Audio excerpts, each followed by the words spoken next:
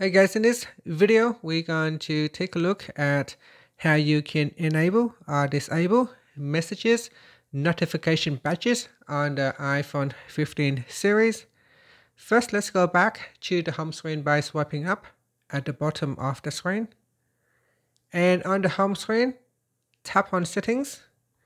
Now in the settings page, we scroll down and in here, tap on messages Next, go down and tap on notifications. Then we scroll down and tap on badges in the alerts section.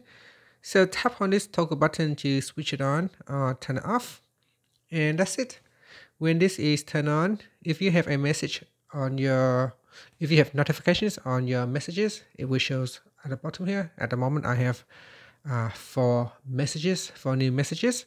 If I go in here and turn off the badges, you can see on my uh, home screen, it will not show the badges for the messages app. And that's it. Finally, you can swipe up to go back to the home screen. Thank you for watching this video. Please like and subscribe to my channel for more videos.